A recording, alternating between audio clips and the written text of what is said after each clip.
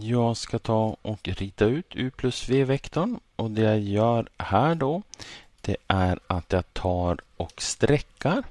Jag tar och tar den här vektorn u och så sen så streckar jag så att jag har en streckad linje som har samma riktning som den här vektorn u. Så att den startar här då i spetsen och så sen så går den så där. Så i den riktningen.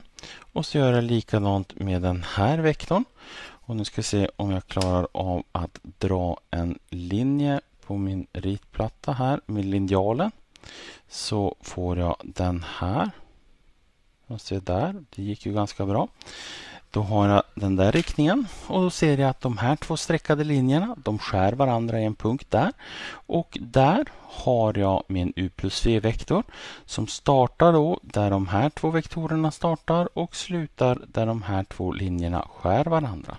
Så att då tar jag och ritar ut den. Jag börjar alltså i samma startpunkt och så sen drar jag ut den till dess att de här skär varandra tar och ritar en spets där och ritar u vektor adderat med v vektor.